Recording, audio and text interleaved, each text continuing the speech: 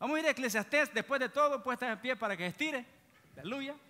Dios bendiga, hermana, eh, mi hermana Lidia, que está recién venida a Salvador, ¿verdad? ¿Fue? Aleluya. Nos da gusto que esté en casa. Capítulo 9 de eh, Eclesiastés. Eclesiastés. Después de Proverbios. Capítulo 9, verso 4. 5, 6 y ahí nos quedamos. Gloria a Dios, cuando lo tenga respondemos con energía. Dice entonces la palabra de nuestro Señor, jóvenes todo el mundo leyendo la palabra de Dios, por favor. Dice, honrando al Padre, al Hijo y al Espíritu Santo. Aún hay esperanza para todo aquel que está entre los vivos. Día conmigo, gracias a Dios. Porque mejor es perro vivo que león muerto. Porque los que viven saben que han de morir, pero los muertos nada saben, ni tienen más paga, porque su memoria es puesta en olvido. También su amor y su odio y su envidia fenecieron ya y nunca más tendrán parte en todo lo que se hace debajo del sol. Es una palabra verdadera, pero muchos la han puesto en otro ángulo. Y yo quiero que se siente para que disfrute esta palabra esta noche. El tema esta noche es, amado hermano, ¿a dónde van los muertos? Depende. ¿A dónde van los muertos mundanos? ¿A dónde van los muertos evangélicos?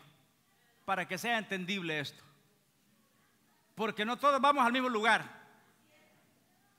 No todos vamos al mismo lugar. Según estos versículos, amado hermano, la esperanza ha desfallecido porque ya murió. Déjeme decirle algo. La gente dice, oiga bien, después de que muera, me hace, me echan a los perros, dice la gente. Después que muera, me tiran donde quieran. Murió el perro, se terminó la rabia. La gente tiene muchos dichos que no tienen sentido porque no saben lo que están diciendo. Yo no puedo decir eso porque yo estoy consciente y usted también debe estar consciente que después de la muerte empieza una vida eterna en Cristo Jesús. Nosotros fallecemos temporalmente dormimos, pero tenemos esperanza de levantarnos en gloria cuando el Señor venga por nosotros. Cuando usted escucha una gente que habla este lenguaje, es una gente que no tiene conocimiento ni entendimiento lo que está diciendo porque no sabe lo que hay, que se conoce infierno, donde esta noche vamos a hablar algo acerca de eso. Porque la verdad Amado hermano, el hombre se ha descuidado tanto y ha caído en, un, dormir que no, no le interesa pensar en las cosas eternas, simplemente piensa en lo temporal, en lo terrenal. Y es por eso la lectura que leímos hoy de que el hombre rico, escuche muy bien, que él dijo que había cultivado tanto y su granero los había hecho más grandes, para después decir, alma mía, goza, bébete, bebe, regocíjate. Porque muchos bienes has almacenado entonces así está la gente hoy. Y no se trata de hacer bienes terrenales ni temporales, más bien hacer, oiga bien, tesoros en el reino de los cielos. Donde la polilla no puede llegar volando, donde el orín no puede corroer, corromper. Amado hermano, la gente se olvida estas cosas que son eternas. Y donde se nos habla estas verdades en la casa de Dios. Y gracias a Dios por la iglesia que hablamos estas verdades. Porque la base de la iglesia hoy es hablar de prosperidad, hablar de luces, hablar de crecimiento, hablar de tantas cosas, pero no estas verdades, amado hermano, que llevan al hombre a pensar qué, qué pasa si muero hoy esta noche. ¿Dónde va mi vida? ¿Qué pasa conmigo?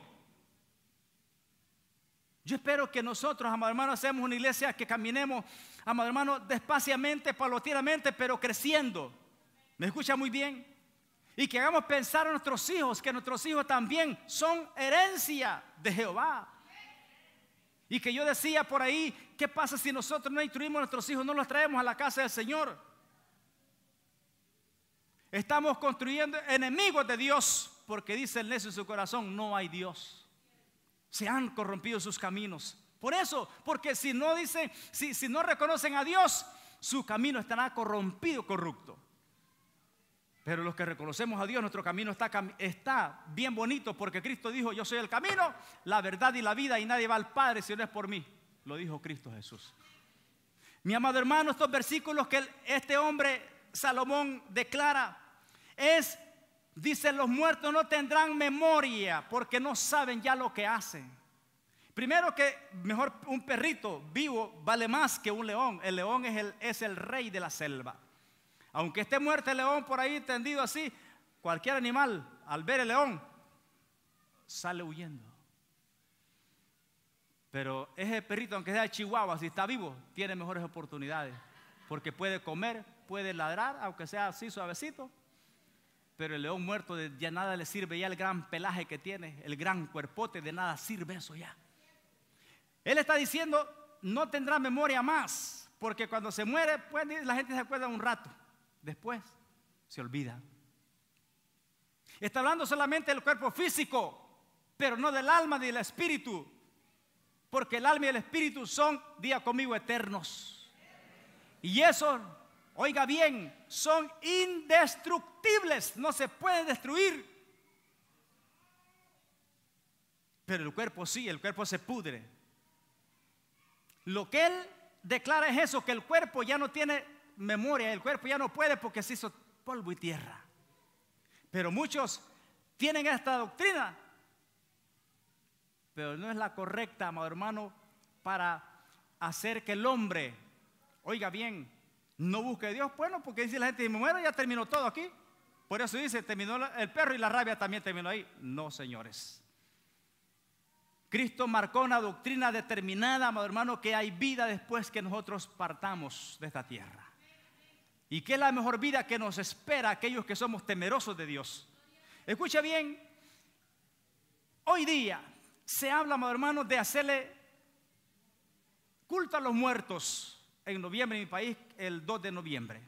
Culto a los muertos. Toda la gente va a los muertos con cementerio, con flores, etcétera, para acordarse del muerto. No está mal acordarse de su ser querido porque usted lo ama. Máximamente si le dio un buen ejemplo, como mi padre. A mí mi padre me dio buenos ejemplos. Me acuerdo de él, pero hasta ahí sé que está con Dios. Gloria a Dios, un día yo, si me porto bien, lo voy a ver. La seguridad que da Cristo Jesús.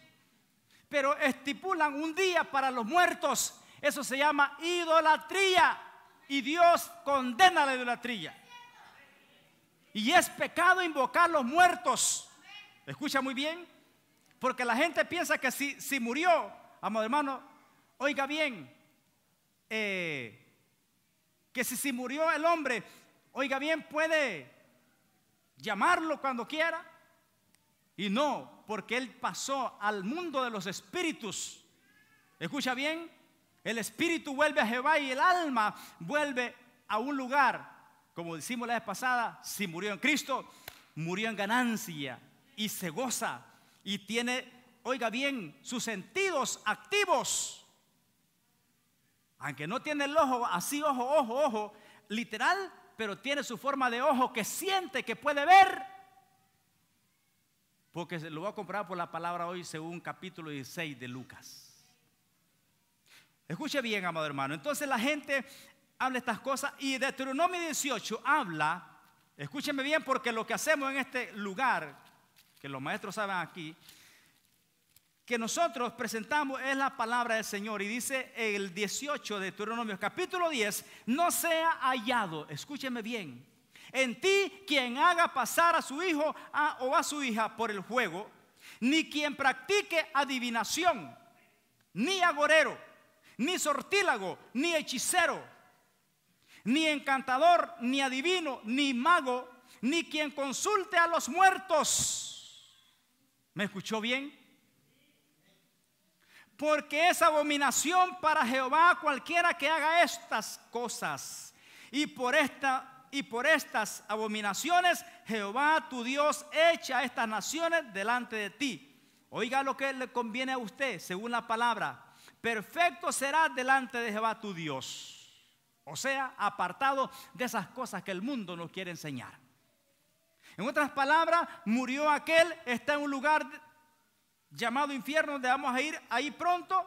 Escuche bien, pero quiero hablar de que no el cuerpo físico, físicamente que ahí, porque el cuerpo se queda en la tierra, porque dice la Biblia que el cuerpo fue tomado de la tierra y, la, y el cuerpo vuelve donde fue tomado, a la tierra. Por eso usted ve que en los cementerios, si usted siembra una mata de, maíz, le da dos mazorcas por cada mata.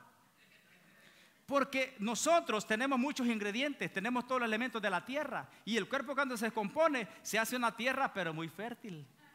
Dile al que está a la par, tú eres tierra. Y aunque te andes bien perfumadito, pero somos tierra, hermanos. Y aunque ande bien trajeado, somos tierra. Bueno, el punto no es ese que sea tierra o no, el punto es que vamos a ir a la tierra un día. Escuche bien entonces, pero el alma y el espíritu siguen vivos, puesto que son, dijimos, eternos, son indestructibles. Por eso el diablo no puede tocar su alma ni la mía, porque usted es hijo de Dios. Amén. El diablo no puede tocar su alma.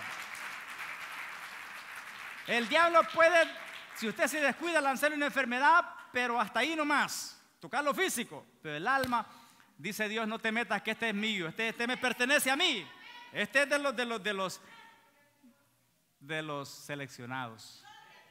Mire, el espíritu humano es, ponga atención a esto, esto, esto es importantísimo, porque el espíritu humano es el elemento que habita o que habilita la vida del ser humano. Fue el soplo de vida que dio Dios al ser humano. Fue espíritu sopló y fue el hombre alma viviente. El espíritu humano se asocia con una amplia gama de funciones entre las que incluyen el pensamiento, lo máximo, el espíritu humano es el que acerca a la presencia de Dios. Por eso cuando alguien está descarriado, apartado, dice, anda con el espíritu caído, pero cuando viene a Cristo, hombre, siempre se viene poderoso. Amén, hermano. Porque su espíritu es restaurado y ahora puede tener comunión con Dios. Y máximo hoy por el Espíritu Santo que nos da una comunión con el Padre, con el Hijo, con el Espíritu Santo. Escuche bien. Incluye el pensamiento y, y, el entendimiento, las emociones, actitudes de inteligencia e intenciones. Es el soplo de Dios que otorga el entendimiento, la inteligencia para cada uno de nosotros. Es el Espíritu. Y el Espíritu no muere. Cuando alguien muere físicamente, el Espíritu va a Dios. Dijimos, sea del hombre más violador, perverso, hechicero, cualquier tipo de pecado que el hombre ha cometido, el Espíritu vuelve a Dios porque el Espíritu, amado hermano, Dios lo dio y vuelve a Dios. Pero el alma, ¿qué es el alma? Nefesh se define como los aspectos no materiales, por ejemplo, la mente del ser humano, la emoción del ser humano, la voluntad, o sea, pues la acción, sean buenas estas o malas, que resulta de la unión que hay entre el espíritu y el cuerpo, el alma. ¿Estamos de acuerdo en eso? Entonces, escuche bien. Por eso, por eso el alma y el espíritu siguen viviendo cuando el hombre muere físicamente. Sigue viviendo. Usted va a seguir viviendo, pero ni con su pelito bonito, pintado ahí, con su pistoleado. No el cuerpo físico, pero usted va a seguir viviendo, escuche bien, va a tener entendimiento, razonamiento. Usted va a decir, bueno, ¿y mi esposa? Usted va a tener conocimiento. Lo vamos a llevar ahí paso a paso. Por eso está establecido que los hombres mueran una sola vez y después de eso dijimos el juicio. El desvío que hablábamos. El desvío que hablábamos. Había una señora. vivía en un pueblo como los pueblos de nosotros allá en, nuestros pueblos. Vivía en el pueblo, en la calle principal, y cuando venía una, un matrimonio, una gente que casaba vestido blanco, bonitos ahí, decía, a ver, dice, ese es camino que todos vamos a llevar, decía la ancianita. Pero cuando ha pasado un muerto por ahí, un difunto, ve, dice, ese camino todos lo van a llevar. Ella no quería reconocer de que tarde que temprano también a ella le tocaría. Y así somos nosotros. Le dice el esposo la esposa, yo creo que vos estás a morir primero que yo. Aquí nadie sabe, hermano. Nadie sabe cómo está la situación. El punto es estar preparado ¿Estamos preparados, hermano? Si no, esa es la intención del mensaje, que estemos a cuenta y que estemos preparados. Dice allá cuando yo era católico que te encuentren confesado. No, a mí que no me encuentren confesado con el hombre, me encuentren en comunión íntima con mi Dios, o sea, en santidad, porque sin santidad es imposible ver a Dios. Así que nuestro Señor Jesucristo claramente, escuche bien, Dice él que hay una salvación o condenación, o sea que Cristo no puso las cosas. Escuche bien ahí a lo, a lo que pase. Él definió muy bien las cosas, nos habló claramente Jesucristo. Y que escuchamos hablar más de estas cosas es a Jesucristo. Por eso, escucha bien, él declaró en Mateo 25, 45, una verdad maravillosa que le conviene esta noche poner atención a usted. O por lo menos escríbela. Escríbela porque le va a servir. 25, en el verso 45, dice la palabra del Señor así. Bendito sea mi Jesús esta noche, hermanos. Entonces les responderá diciendo, de cierto digo que en cuanto no lo hiciste a uno de estos más pequeños, tampoco a mí lo hiciste. E irán estos al castigo eterno y los justos a la vida eterna. Hay una diferencia al hombre que murió, murió sin condenación, porque unos van a, vida eterna y los otros van a condenación. ¿Me escuchó bien, hermano? No sé, yo creo que usted ha escuchado hablar de estas cosas. Pero es la intención recalcarlas para que la gente no vaya a decir mañana más tarde, yo fui a esa iglesia y nunca me hablaron del infierno. Pues usted a partir de esta noche no tiene excusa de que nunca escuchó hablar del infierno. La gente dice, no hay infierno, pero cuando ellas mueran, inmediatamente al morir, se dan cuenta de que hay infierno, ahí van a despertar. No tiene que esperar tanto tiempo. Ahí mismito, después que murió en un accidente, ahí se dio cuenta de que si hay un infierno porque le hablaban del Señor y nunca quiso del Señor. Nunca quiso del Señor. Y ese es el problema que la gente le predica y no entiende que estas son verdades eternas. No es un libro, cualquier libro, es el, manual para el hombre de Dios, para la mujer de Dios. Jesucristo lo declaró, oiga, bien, al castigo eterno Castigo eterno a mí me habla de, infierno. Castigo eterno a mí me habla de Geena, me habla de Seol, me habla, escúcheme bien esta noche, me habla de Abadón. Geena. La Biblia dice, amado hermano, que en los tiempos, bueno, está escrito en la palabra del Señor Geena. Y era, según Josué, amado hermano, un lugar en Israel, al sur de Israel, que se conoce como el, el valle de Inón. Nosotros pasamos por ese lugar. Es un valle donde, escuche bien, hace dos mil años o un poco antes, pero en ese tiempo, era un lugar donde era un basurero, donde la basura pasaba encendida 24 horas sin apagarse. Ahí antes sacrificaban niños a dioses extraños. Y era un gran lugar grande por ahí donde venían a hacer sacrificios a otros dioses. Y los malos, malos, los, los, agarraban y los mataban, los despedazaban y los tiraban en ese lugar. Y la basura de Israel, de todo el pueblo, le llevaban y la tiraban a ese lugar. O sea que ese lugar pasaba encendido todo el tiempo y le pusieron Geena. De ahí viene la palabra porque nunca se apagaba ese lugar.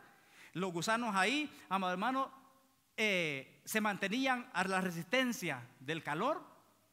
Un lugar geena. Entonces, comparado con el infierno, escuche bien, de ahí viene todo esto. Mire, Jesucristo lo habló claramente. Entonces, e irán estos al castigo eterno y otros, los justos, a la vida eterna. ¿En qué lugar se considera usted que va a caer si esta noche usted muere? Son preguntas cruciales que el hombre tiene que reconocer, amado hermano. Y aquí no interesa si sea científico, licenciado, profesor, bachiller o simplemente un campesino. Eh, aquí no interesa eso. Porque el alma y el espíritu no mueren. Y decíamos la vez pasada, por muy bonito que sea el entierro que le hagan, con una buena caja y con mariachis y con tantos elementos que el hombre hoy se inventa para negocio, y le hagan una gran misa de cuerpo presente y que le echen un poco de agua bendita, y tal vez un evangélico murió, simplemente, hermano, una cajita sencilla, y que unos, solamente la iglesia del pueblo fue a enterrarlo. Pero no es como le enterraron, es donde ese hombre va a aparecer cuando, aleluya, murió. Esa es la gran diferencia que hace esto, amado hermano. No es como le entierran ni, la ceremonia que le hagan. Eso es, no interesa ya. No importa eso ya. Lo que importa es hoy. Si escucha hoy mi voz, no endurezca el corazón. Eso es lo que interesa. Eso es lo importante, aleluya. Por eso Dios nos llama a que estemos a cuenta con Él, amado hermano. Y el caso, el ejemplo más glorioso que esta noche, si usted vino fue por algo, escúcheme bien esta noche. Si usted vino fue por algo y no se vaya como llegó a este lugar, no se vaya como pasó a esa puerta. Si usted no conoce a Dios, Dios le está llamando porque sabe Dios que si no se arrepiente, escuche bien, hay problemas. El no arrepentirse es querer seguir viviendo una vida, amado hermano, vaga, una vida sin fundamento, una vida sin sentido, una vida, amado hermano, que simplemente se vive por vivir y la gente se quiere usar, se quiere buscar eh, eh, otras cosas para, para, saciar el pecado que anda por dentro. Por eso yo me acuerdo que cuando era eh, del montón, cuando era de, pues sí, pues del otro lado, ¿verdad? No evangélico, sino de, de la otra, pues. Yo tenía un carrito, tenía un carrito, amado hermano, me acuerdo un, Nissan bien bonito ahí. Y para mí era gran cosa, pues un carro. Y le puse un gran equipito bien bonito y me lo robaron. El punto, el punto es, escúcheme bien, el punto es que yo le daba volumen a ese radio. Y, esa, cuando salían los bookies, que yo no sé si existen, ni me interesa saber si están o no están. Y le ponía volumen y, yo sentía bonito. Pero ya al apagarlo venía la realidad de mi vida estás en pecado. ¿De qué te sirve la música? ¿De qué te sirve los que van, por ejemplo, a hacer tantas cosas de noche por ahí, verdad? ¿De qué le sirve querer saciar, apagar el, el pecado, las cosas, que la voz que te anda hablando por dentro? Estás mal, estás mal. Arrepiéntete. Eso es todo lo que tenemos que hacer. Pero el hombre, como no es humilde, quiere seguir su vida como él quiere. Pero no, ustedes, gracias a Dios que somos obedientes. Gracias a Dios porque Dios nos llamó a tiempo y escuchamos la voz de Dios. Amado hermano, escuche bien. Y ahí la palabra del Señor nos declara que había un hombre rico. Si usted lo quiere leer, tome nota, capítulo 16 de Lucas. Me interesa que ponga atención a la palabra esta noche. Porque había un hombre rico, dice la Biblia, amigo, usted que está acá esta noche. Qué importante esta palabra de Dios que había un hombre rico que se vestía de púrpura y de lino fino. ¿Sabe qué? Los maestros. Este hombre no era cualquier hombre. Este hombre era un religioso vestido de púrpura con su vestimenta. Era un, por no decir este, eh, un religioso, pues, ¿verdad? Porque no cualquiera se ponía vestimentas así de este tipo, de púrpura. O sea que algo parecido a la realidad, júguelo usted. Hello de púrpura y de lino. Y hacía cada día banquete con gran esplendidez. Hacía también, hacía, había también, o sea, aquí está, hay una comparación, que había también un mendigo llamado Lázaro que estaba echado, tiene razón, mano José Manuel, echado a la puerta de aquel, lleno de llagas. Pobre hombre Lázaro. Y ansiaba él saciarse las migajas que caían de la mesa del rico y aún los perros venían y lamían las llagas de aquel hombre. Aconteció que murió, escúcheme bien esta palabra. Esto no es invento humano, hermano. Este es real. Y aconteció que murió el mendigo y fue llevado por ángeles. Qué lindo. Un paréntesis, mi papá murió en diciembre. Yo lloré a mi papá porque pues mi papá, calidad conmigo pues. ¿Verdad? Me enseñó buenos ejemplos, nunca lo vi tomar, nunca le vi levantar la mano a mi mamá. Dormía en la casa todo el tiempo, a no ser que fuera a hacer una diligencia a la capital. No me abrazaba mucho, pero el amor, ¿verdad? Eh, se siente pues. Murió mi papá y, cuando estaba muriendo le he contado a algunos, ¿verdad? Que dice mi mamá que lo veía él levantar los brazos así, estaba en la cama y como que veía algo. Y mi mamá le decía, ¿qué ves, Ofilio? ¿Qué ves? Mi papá llama Santo Ofilio, Santo y buen nombre le pusieron. Gracias a Dios. Oiga, dice el Cordero, dice, me está llamando. Dice que cuando murió, oiga bien, el mendigo, ángeles vinieron Qué privilegio a tener usted. Pero manténgase seguro. Si anda descarriado esta noche, asegúrese. Si quiere que le lleven ángeles buenos, porque también hay ángeles negros. Y no por, no por porque se le haya un grupo que le llaman ángeles negros por ahí. Porque cuando alguien muere sin fe y sin esperanza, viene también ángeles negros, hermano. Mire, murió y dice que lo llevaron los ángeles al seno de Abraham y murió también el rico y fue sepultado. No se dice más de él. Ahí no se habla de la ropa, no se habla de otras cosas, se habla que murió y fue sepultado. Pero no pasó nada de tiempo, fue sepultado y en el Hades, infierno, Geena. Oiga bien, alzó los ojos, estando en tormento, día conmigo tormentos, y vio de lejos a Abraham y a Lázaro en su seno. Qué lindo, o sea que aquel estaba ya gozándose, el, el pobre, ¿verdad? El mendigo. Entonces él, dando voces, desesperado y angustiado, dijo, Padre Abraham, ten misericordia de mí. Y envía a Lázaro para que moje, oiga bien, la punta del dedo en agua y refresque mi lengua porque estoy atormentado en esta llama. ¿Hay llama en el infierno? ¿Hay tormento en el infierno? ¿Hay gusano en el infierno? Bueno, ¿sabe por qué ya usted leyó la Biblia? Pero hoy lo vamos a ver, vamos a leerlo. Porque hay unos tremendos gusanos que son, yo le llamo gusanos, eh, gusanos de fuego. Porque esos, miren, no se queman. Póngale usted ahora mismo a un gusano terrenal un fósforo y le pone fuego, se le va a quemar. Pero estos del infierno no se queman, por eso yo le puse gusanos del infierno, gusanos de, fuego, pues. Pero son gusanos, hermano. Así grandotes y se mueven feo. Son gusanos que están ahí para atormentar. Pero Abraham le dijo, hijo, acuérdate que tuviste tus bienes en la vida y Lázaro también males, pero ahora este es consolado, hay consuelo en la casa de Dios, en el lugar bueno, hay consuelo y aquí tú atormentado. Además de todo esto, una gran cima está puesta entre nosotros y vosotros. De manera que los que quieren pasar de aquí a vosotros no pueden, ni de allá pasar acá.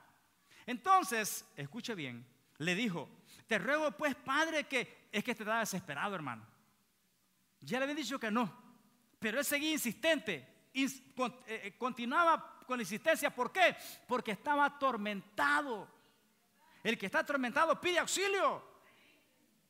Mire, entonces le dijo, te ruego pues, padre, que envíes a, casa de mi, de mi padre, porque tengo cinco hermanos para que les testifique a fin de que no vengan aquí. Mire, él amaba a sus hermanos, pero por mucho amor no quería que estuvieran quemándose con él. Hello. O sea que ahorita hay gente en el infierno, quizás sus parientes, yo no sé, pero que están diciendo, mira Padre, que no vengan aquí, porque tienen sentido, piensan. Y es más, bueno, según este pasaje lo que pasa. Tal vez los papás que fueron cristianos suyos están intercediendo de una manera u otra para que usted se mantenga firme y no caiga. Y Abraham le dijo, a Moisés tiene y los profetas que los oigan a ellos. Entonces dijo, no, padre Abraham, pero si alguno fuere a ellos de entre los muertos, oiga, se arrepentirán. Mas Abraham le dijo, mm, yo imagino que este arrancó la cabeza. Y le dijo, oiga, mas Abraham le dijo, si no oyen a Moisés y a los profetas, tampoco persuadirán, aunque alguno se levantare de los muertos. No sé, porque lo que van a hacer es corrérsele. Yo quise a mi papá y gloria a Dios, pero si lo veo entrar por ahí, si no me corre porque soy valiente. Pero sé que ya mi papá está en otro lugar, está en otra vida ya. Y de ahí no puede venir. Por eso está esta palabra establecida. Por eso está esta palabra, amado hermano. Y la gente dice, no, que yo no creo en el infierno. Bueno, que no cree el problema de él. Cuando esté despierto, cuando, esté ahí, se va a dar cuenta. Si el pastor me predicaba, el maestro predicaba, y va a ser el lloro y el crujir de dientes. Amado hermano, esta noche hay que hacer algo. Este cuadro no es invento de hombre, esto lo expresó Jesucristo. Si el Hijo de Dios nos advierte quiénes somos nosotros para no escuchar la palabra de Dios, ¿Quién es usted que se cree o yo que me puedo creer al no escuchar este relato glorioso de la palabra de Dios? Amado hermano, tenemos que meditar y permanecer fieles y firmes porque ahí claman, dicen los que están ahí, que nadie de los suyos pueda llegar a ese lugar. Aunque nunca lo vean más, pero prefieren eso antes que lleguen ahí. Tremendo, amados hermanos. Tenemos que prestar atención a estas verdades que son eternas. Por ejemplo, amado hermano, la Biblia nos declara todas las cosas, escuche bien, en lo que es Judas. También nos declara el Señor, escuche bien, porque el infierno fue hecho para Satanás y sus ángeles. Pero escuche bien, verso 22 de, de, de Judas. Algunos que dudan, convencerlos. O sea, pues mire hermano, tiene usted un gran trabajo y yo. Usted tiene un compañero de trabajo, tiene un compañero de estudio y usted le, eh, le explica de Cristo. No, no creo, eso es para los anticuados, eso es para ustedes que no tienen que hacer. Pégale un trompón y métalo a Cristo Jesús, hermano.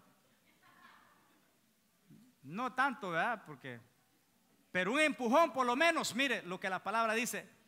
Algunos que dudan convencerlos y a otros salvar arrebatándolos del juego. Esto es real del fuego y de otros tened misericordia con temor, aborreciendo aún la ropa contaminada por su carne. O sea que el hombre que anda pecando, hasta su ropa anda contaminada del pecado. ¿Sí o no? Vaya a una discoteca, por ejemplo. Ahí lo que primero que le va a pagar es el, el zumo a cigarro. Hasta la ropa contaminada. Y después la esposa viene, ¿y dónde venimos? Le quiere mentir, no vengo de por ahí. No, hombre, si un gran tufa a cigarro, ¿cómo le va a engañar? Hasta la ropa agarra mal olor al guaro, al ron con caña. Entiende, hermanos, pero es mejor la vida en Cristo Jesús, porque dice, verso 21, conservados en el amor de Dios, esperando la misericordia de nuestro Señor Jesucristo para vida eterna. Eso es lo que, lo que promete el Señor a nosotros. La vida eterna. Hombre, aprovechemos hoy que tenemos todas las condiciones que tiene sus pies buenos para caminar. Venga a la casa de Dios. Pero muchas veces nos cuesta estas cosas a nosotros, amado hermano. Somos irresponsables muchas veces nosotros como servidores para Dios. Pero es porque no nos tenemos a meditar la importancia que es estar un día mejor en la casa de Dios que mil fuera de ella. A la gente usted le dice, mire, es tiempo de que se bautice, es tiempo que se ordene, es tiempo que busque a Dios. No, dice, no estoy preparado. Hombre, nadie está preparado. Te preparas aquí en el campo de fuego, en el campo de batalla, aquí en la iglesia. Nos preparamos para ir a la casa de Dios. Aquí es el lugar donde Dios nos habla.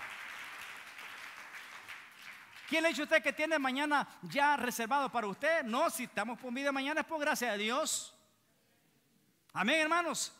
Así que levante la mano los que no son bautizados. Uno, dos, tres, cuatro. Levántenla sin miedo, sin temor. Que aquí no se cobra por eso. Levante su mano con valentía, como hijo de Dios que es. Levántela sin miedo. ¿Sabe qué? Vamos a bautizarnos, hermano. Si quiere escapar de esta condenación, hay que ir haciendo las cosas bien para la gloria de Cristo Jesús. El que creyera y fuera bautizado, usted será salvo. Amén, hermanos. Mas el que no creyera ya es que condenado. Porque la Biblia dice, amados hermanos, que, oiga bien, es que la palabra aquí, amado, tiene todas las bendiciones para que nosotros no nos perdamos, amado hermano. La palabra es preciosa y dice, el que en él cree no es condenado. Qué lindo esto. Pero el que no cree ya ha sido condenado porque no ha creído en el nombre del unigénito Hijo de Dios. No ha creído. Y esta es la condenación que la luz vino al mundo y los hombres amaron más las tinieblas que la luz porque sus obras eran malas. Mire hermano, la palabra es tan maravillosa. ¿Qué pretendemos hoy hablar? Que hay algo real, amados hermanos. Hay algo real que es la palabra del Señor, bendito sea Dios, donde el gusano, dice la Biblia, no muere. Escuche bien, y eso no es invento mío. Muéstremelo por la palabra, pastor, con mucho gusto. Con mucho gusto estamos acá para servirle. Amén, hermanos. Dice Marco capítulo 9, verso 42. Mire, póngame atención, escríbalo, hermano, por lo menos, pero escúcheme esta noche. Porque ese es el punto. Que nos concentremos. Mira, hay gente que no lee la palabra de Dios, hermano. Hay gente que, que no se da el tiempo pero sí tener tiempo para peinarnos, eh, para comprarme una pistola de aire, para pistolarnos el pelo. Incluso yo lo hago hay veces. Nos preparamos y gastamos el tiempo, físicamente gastamos el tiempo mucho, muchas veces más que en las cosas espirituales. Mis hijas, yo le he dicho, mira hija, así como te estás en el baño, por ejemplo, y te estás media hora, prepara media hora para orar. ¿Verdad? Si estás una hora arreglándote, gloria a Dios, lo físico, está bien. Pero una hora también orando, buscando la presencia del Señor. ¿Cuántas horas está trabajando usted? Ocho horas. Y ahora para orar, unos cuantos entramos a la oración, los mismos entramos a la oración. Si no tiene un teléfono, hermano, hágame saber. Le vamos a comprar uno, porque hay dos por uno, hay veces de, ofertas por ahí. De verdad que sí, hermano, vale la pena que nosotros, oiga bien, hay veces tomamos las cosas del Evangelio ahí a como pero es porque no estamos centrados. Día conmigo, es porque no estamos. Quiero ver la boca. No estamos centrados. Lo que Carlito hablaba hoy. Hermano, todo tiene un tiempo. Cuando estamos en el trabajo, pues concentremos el trabajo ahí, gloria a Dios. Pero cuando estemos buscando las cosas de Dios, sabemos que todo tiene un tiempo. Es más, la Biblia lo dice, no lo digo yo. Todo tiene un tiempo. Es tiempo de la escuela. Eh, ¿A qué hora empezamos el culto aquí, hermano? Y muchos venimos solamente a dar la ofrenda ya. Ya casi está terminado todo. Bueno, si trabajó ese día, está bien, hermano, por lo menos con solo verlo ya me bendijo. Porque yo, cuando lo veo a usted, me da alegría verlo. Amén, porque el corazón del pastor tiene amor por las almas. Pero si no trabajamos el día domingo, hermano, desde ya la, qué lindo, yo me alegro cuando el fin de semana viene, yo estoy pensando que tengo que estar en la casa de Dios en la reunión y todas las cosas, ya hermano, es la fiesta para mí. Eso es lo lindo para mí. Eso es lo, que nos conviene, lo que nos debe de convenir a nosotros. Para estar seguros, si, si el pitazo viene, la trompetazo viene hoy, partimos con el Señor. ¿Escucha bien? Oiga bien, los dejé ahí quietos en capítulo 9, verso 42 de Marcos. Cualquiera que haga tropezar a uno de estos pequeñitos que cree en mí, mejor le fuera si se atase una piedra de molino al cuello y se arrojase en el mar. 43. Si tu mano te fuera ocasión, levante su mano, levántela, qué bonito se ven. Si tu mano te fuese ocasión de caer, córtala.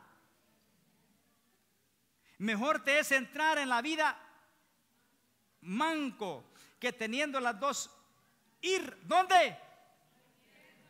¿Dónde? Al infierno, al fuego que no se no puede ser apagado. ¿Hay infierno? Ya vamos hablando muchas veces del infierno, hermano. Y la gente no le gusta esta doctrina. A usted no le interesa lo que en otra iglesia hagan o no hagan. Lo que nos interesa aquí a nosotros es expresar esta palabra de Dios. Y aunque diga, bueno, mira, yo sé que cuesta muchas veces crecer en este tipo de iglesia, ¿sabe por qué? Porque la gente le gusta que le dé mucha, mire, cuina, cuina, cuina, y ahí está la gente contenta, riendo de cada culto, y no hay problema. Pero aquí no, aquí es que hay que pensar, amado hermano. E, el hombre que, mire, tiene su esposa, no ande viendo otra. Si no se ha casado, ore a Dios que Dios le dé una esposita, que una esposita bonita, si usted la quiere bonita, feita, como sea, pídasela a Dios. Esa es cosa suya. Pero pídale a Dios porque dice la Biblia que no es bueno que el hombre esté solo. Pero muchas veces la gente sola están viendo la, esposa del, otro. Estos sí que son frescos, ¿verdad? Ya el mandado, ya el mandado listo, ya sin, sin tanto sacrificio. Hay que arreglar, hay que hacer, amado hermano, porque tu mano te puede ser ocasión de caer, córtala. Es decir, ya no robe, ya no hagas las cosas malas.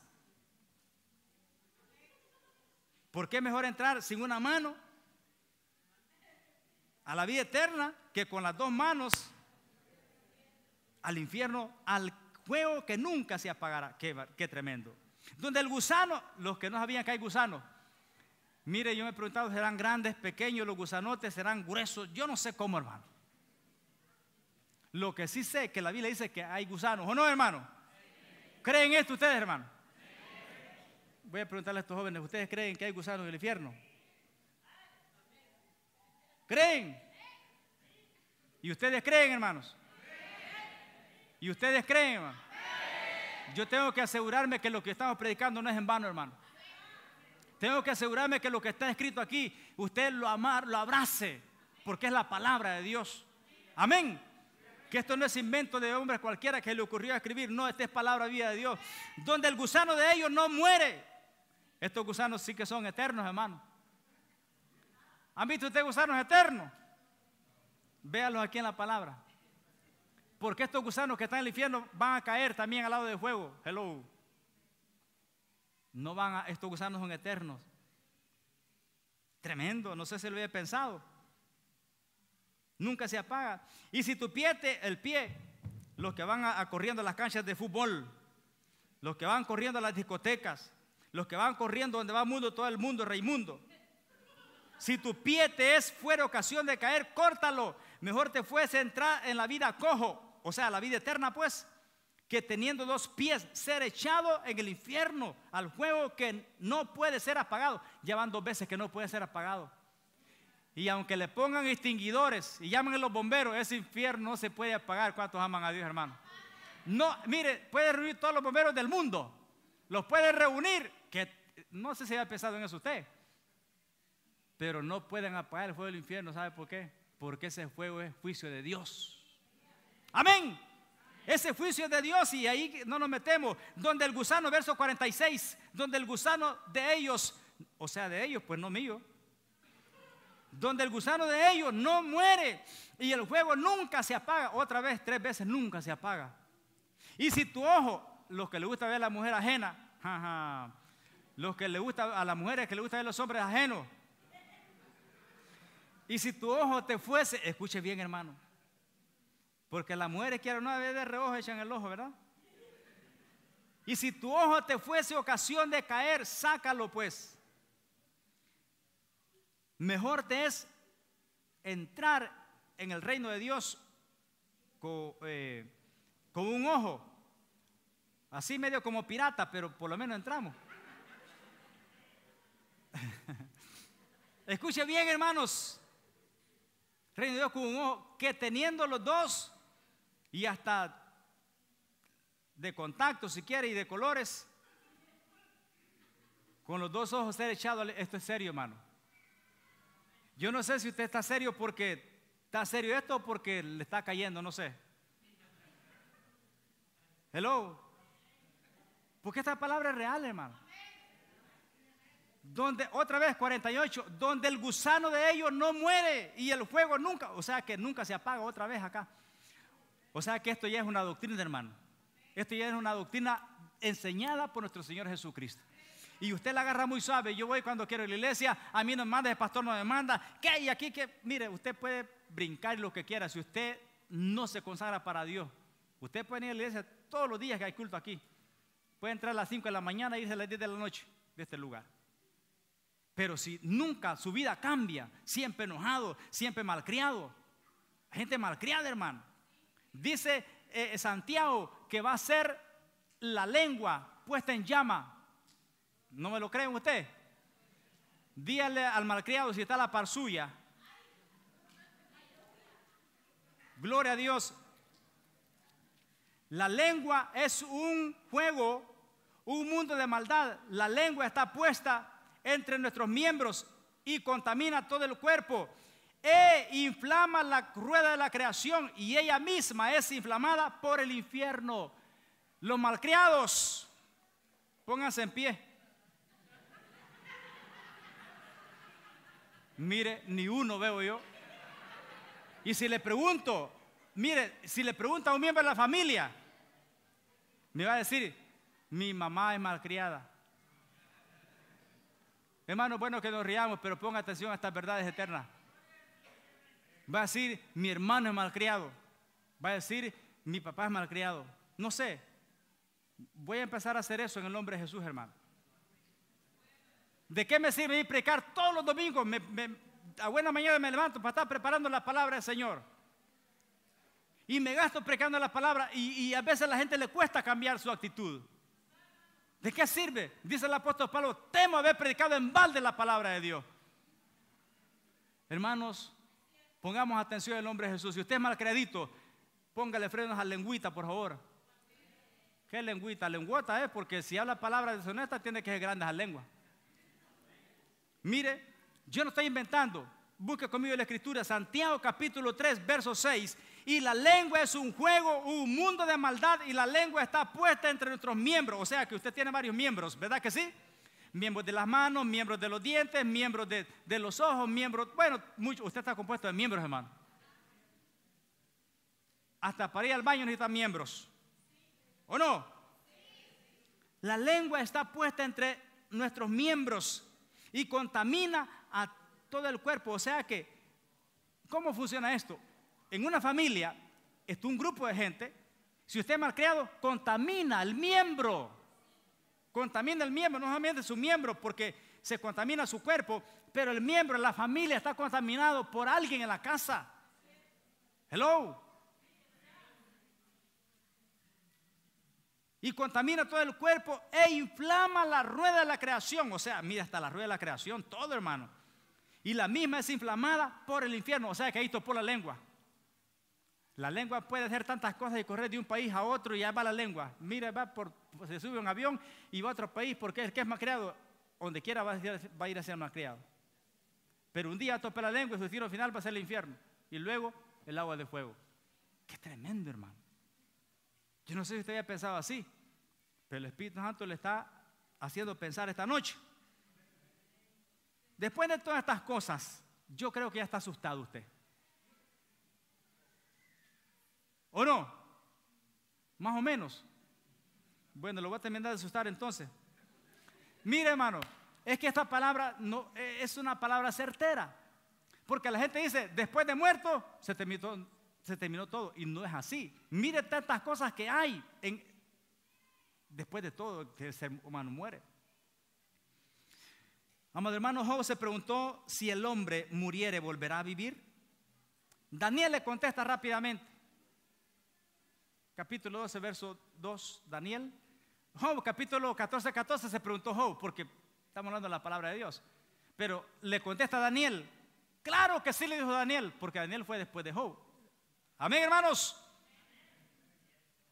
No los escucho muy convencidos. Pero dice Daniel capítulo 2, verso 2, 12, verso 2. Mire, y muchos le dijo, de los que duermen en el polvo. Ah, o sea que esa es tu respuesta, Job.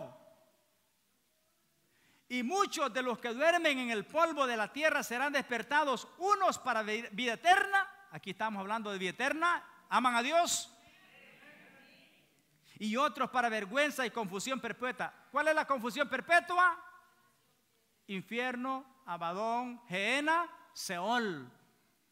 Confusión perpetua. Ahí la gente está confundida. ¿Y por qué el pastor nunca me dio la palabra de Dios? ¿Por qué el padre nunca me dio la palabra de Dios? ¿Por qué el otro nunca me dio la palabra de Dios?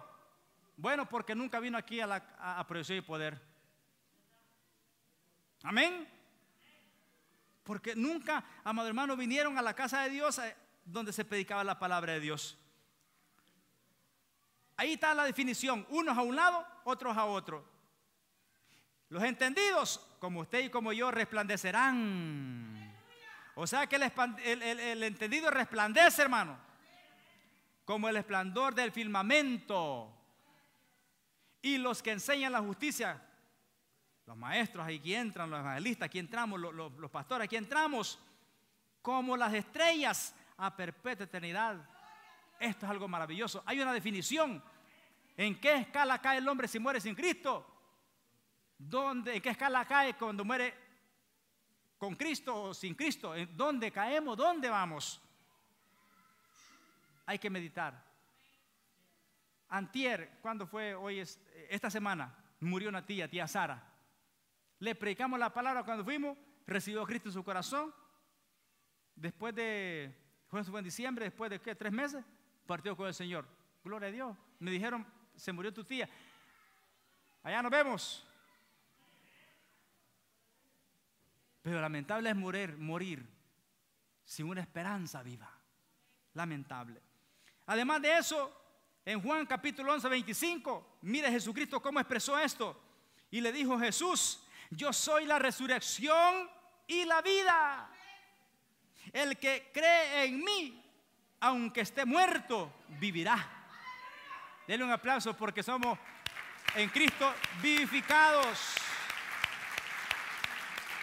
En Cristo vivimos y todo aquel que vive y cree en mí, dijo Cristo, no morirá eternamente. Marta, ¿crees esto? O sea que hoy tomemos el nombre de Marta, pues. Amén. Marta o Martos, ¿verdad? ¿Crees esto? Sí, Señor, dijo ella. Bueno, ¿qué nos quiere nosotros? Creer. Eso está en Juan 11, 25. Anote, tome nota, hermano, porque esto es importante. Ahora ya les hablé mucho, amado hermano, de lo que es el infierno. Y ahora vamos a ir, pero quiero también decirle que también hay una gloria que le espera. Que eso es lo que nos conviene a nosotros. No lo quise asustar, pero piense que el esfuerzo que usted hace, que se sacrifica, que después del trabajo, que después de la vigilia, mire, el fin de semana, por ejemplo, toca, eh, en el día a veces ayunamos, eh, amado hermano, eh, luego en la noche la célula, luego venimos al culto a la vigilia, y amanecen los hermanos, hay veces me toca también ir a mí con ellos de vez en cuando allá a tratado, preparar el mensaje y estar en la tarde predicando la palabra de Dios. Esa es la vida de nosotros. O sea que estamos bien enfocados en las cosas espirituales que tienen sabor a vida eterna en Cristo Jesús. Entonces dice 1 Corintios, amado hermano 15, yo no lo quiero aburrir, solamente quiero que usted piense muy bien esta noche, con inteligencia. He aquí os digo un misterio, 1551. He aquí os digo un misterio, dice el Señor. No todos dormiremos, pero todos seremos transformados. transformados para un lado o transformados para otro. Pero en su tiempo, en su orden. En un momento y abrir y cerrar de ojo a la final trompeta, porque se tocará la trompeta y los muertos en Cristo serán, oiga bien, serán resucitados incorruptibles y nosotros seremos transformados. O sea, en cuerpos que espirituales. Bendito sea el nombre del Señor. Oiga, ¿por qué es necesario que esto corruptible se vista de incorrupción y esto mortal se vista de inmortalidad? Y cuando esto corruptible, la carne del pastor, por ejemplo, se haya vestido de incorrupción y esto mortal se haya vestido de inmortalidad, entonces se cumplirá la palabra que está escrita, sorbida es la muerte en victoria. Aleluya. La trompeta suena y el mismo Señor con voz de mando, con voz de arcángel y con trompeta de Dios descenderá del cielo y los muertos en Cristo resucitarán primero al encuentro con Él en los aires. Aleluya, ya habrá una gran fiesta poderosa. Ese es el evangelio que predicamos. Porque si Cristo murió, resucitó, y si Él resucitó, es la primicia que dimos nosotros, que es la primicia de la resurrección. Si Él resucitó, nosotros también resucitaremos. No nos quedaremos ahí como que Él dijo, se terminó la rabia, el perro murió y se terminó todo. No, hay una esperanza. Que estamos durmiendo ahí, puede hacer que lo quemen a usted. Porque yo le aseguro que usted quizás tiene familia que usted no es cristiana. Y si usted lo mandan, que Dios no lo permita, sea así, ¿verdad? Lo mandan para allá y, ya le dan huevo, le, le, ponen una cajita y le ponen fuego y lo hacen así una cajita. Y dice, no, vamos a tirar al mar. Y lo van a tirar al mar. ¿Y dónde quedaría el cuerpo suyo? Bueno, regado por todos lados. Mire los misterios. Pero cuando el Señor venga, no importa donde usted esté, ahí se reunirán las águilas y lo van a levantar a la presencia del Señor. ¿Cuántos aman a Dios, hermano? Para Dios no hay nada imposible. Lo que para el hombre es imposible, para Dios no hay nada imposible. No se preocupe que hagan de usted sus parientes. Si usted muere y hagan de usted lo que usted quiera, no se preocupe. Si murieron gracias al Señor, estamos asegurados. Ahora va a ser doloroso. Si usted murió sin Cristo y sabemos que nada descarriado, amado hermano, escuche bien, y me toca predicar, le voy a andar dando vuelta al asunto así y no voy a querer llegar a decir mi hermano fue salvo. Mejor voy a predicar de otra cosa porque está complicada la situación. ¿O no? Ya lo puse a que pensar, ¿verdad? Sí, hermano, ¿por qué hay que cuidar la salvación con temor y temblor? Usted que, que, que, amado hermano, piense estas cosas que son reales, amado hermano. Así que, oiga bien, esperamos, nosotros los evangélicos, esperamos la adopción, aleluya, y la redención, como dice la palabra del Señor. Usted no fue solamente sellado para andar sellado, hermano. Usted camina y va sellado. Usted es hijo de Dios o no. Pero usted no solamente, usted ya está reservada la redención. O sea que ya fue usted, digo, redimido, pero también va a ser levantado, pues. Eso se conoce como, como, como raptados. Y oiga bien lo que Romano dice, capítulo 8, porque aquí yo le digo que esto está bueno. Romano 8, 23 y no solo ella, sino que también nosotros mismos que tenemos las primicias del Espíritu, nosotros también gemimos dentro de nosotros mismos, esperando la adopción, la redención de nuestro cuerpo. Seremos redimidos del polvo, de, donde estemos, vamos a ser transformados. Qué bonito esto. Y pasaremos esas nubes, hermanos, más rápido que... qué barbaridad, qué no hay nada comparado a esto porque un abrir y cerrar de ojo, pipelé. Y usted ya pipilió, usted ya está arriba ya. Qué tremendo será eso. Por eso dice la Biblia que estarán dos en una cama. Aleluya, escuche bien esto. Estarán dos en una cama, uno será levantado y el otro será dejado. Y es más, va a quedar roncando. Pero si los dos están bien, a la cobija vieja queda ahí en medio que si no ha lavado por una semana, la cobija todavía tiene un mal Ahí queda eso, usted se va para arriba. Amén, hermanos.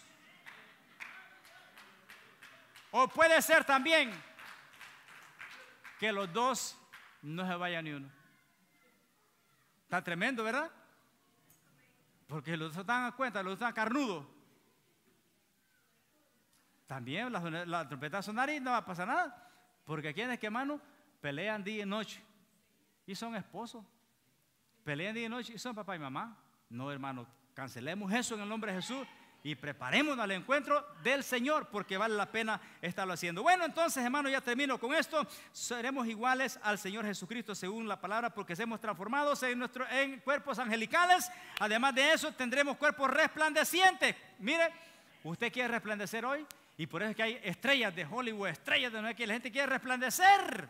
Pero mire la palabra dice, oiga bien, que brillaremos. ¿Cómo está eso? Que brillar, yo brillar. Sí, hombre, Mateo capítulo 13, usted va a brillar y yo también. ¿A cuánto le gusta brillar? Mire, 13:43 dice, entonces los justos resplandecerán como el sol seremos en el reino de su Padre. El que tiene oído, oiga para oír, oiga. Resplandeceremos, iluminaremos Hoy apenas, amado hermano, ahí con el sol a medios quemados andamos.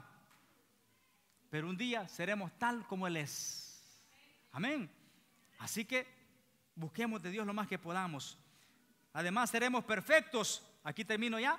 Seremos perfectos. Dice la Biblia que vamos a ser hasta la estatura del varón perfecto. ¿Quién es un hombre perfecto? ¿Cómo ser un hombre perfecto? ¿Será así como yo? ¿Medio con la estatura o un poquito más así? ¿Cómo ser un hombre perfecto? Mujeres.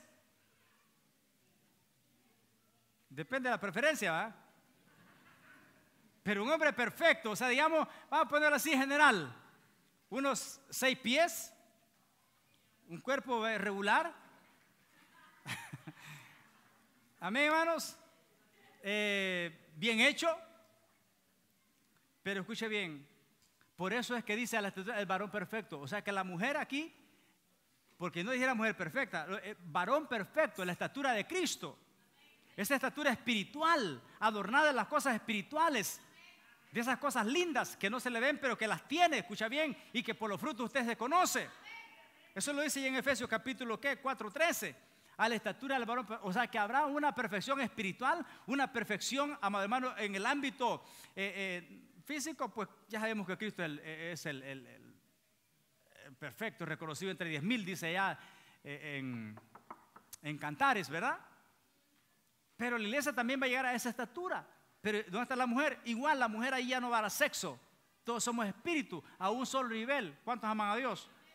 Hoy sí, porque teníamos que ir a la tierra, tener hijos y hacer tantas cosas aquí. Varón y hembra, mujer pelo largo. Y, bueno, algunas que lo quitan y andan pelonas no es problema. El punto es que, escuche bien, ¿verdad? El punto es que vamos a hacer a la estatura del varón perfecto. Vamos a hacerlo cuando Cristo... Hoy hay imperfección. Es verdad, hoy hay imperfección, hermano. Estamos en este mundo. Estamos en este mundo, hay imperfección. Por más que usted quiera, hay veces, hermano, la gente, la gente le complica a usted. La gente le falla, la gente aquí, la gente allá. Pero ame, hermano, a su enemigo. Hasta eso hay que amar al enemigo, hermano. Hasta eso hay que amar. Y no solamente ámalo, dale un plato de comida. Aleluya, ese es el evangelio que hablamos, amado. Que no solamente te maltrataron, te ofendieron, perdónalo, ámalo, abrázalo y decir, te voy a invitar a McDonald's. Vení, vamos. Tremendo, eso es lo que enseña nuestro Señor Jesucristo. Para que sea perfecto hay que estar bien definido, bien determinado. Ese es el evangelio que predicamos. Puestos en pie esta noche, hermanos, y nos despedimos dando gracias a Dios, pero no sin antes decirle esta noche que es bueno estar reconciliado con aquel que todo lo puede. Hay que reconciliarse con Dios esta noche. Hay que